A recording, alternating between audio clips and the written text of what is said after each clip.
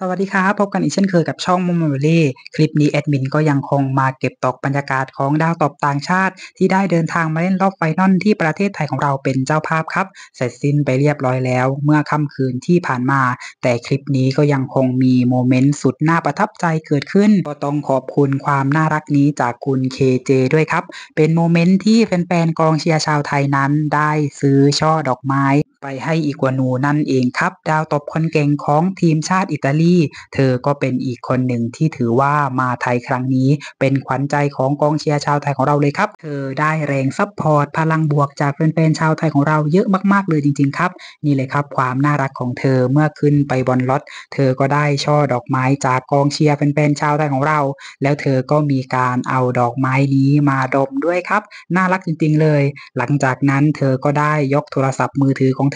ธอมาถ่ายภาพบรรยากาศของแฟนๆกองเชียร์ชาวไทยที่มาส่องขึ้นรถกันเยอะมากๆเลยครับ แล้วเธอก็ได้มีการพูดถึงกองเชียร์ชาวไทยของเราด้วย โดยเธอได้บอกว่า Thailand fan I love you so much thank you for the support นี่เลยครับ อีกวานูเธอก็ได้มีการถ่ายบรรยากาศของแฟนๆกองเชียร์ชาวไทยที่ไปส่งเธอขึ้นรถ พร้อมทั้งช่อดอกไม้ที่เธอได้ด้วย แล้วเธอก็ลงโซเชียลของตัวเองมีการบอกรักเธอบอกว่ารักแฟนๆชาวไทยมากเลย แล้วก็ขอบคุณที่ support เธอ พร้อมกับอีโมจิรูปหัวใจ แล้วก็อีโมจิที่เป็นการแสดงความซึ้งด้วยครับนี่แหละครับ กองเชียร์ชาวไทยของเราได้เข้าไปอยู่ในใจของอีกัวนูเป็นที่เรียบร้อยแล้ว เธอแฮปปี้จริงๆครับที่ได้มาประเทศไทยของเราในครั้งนี้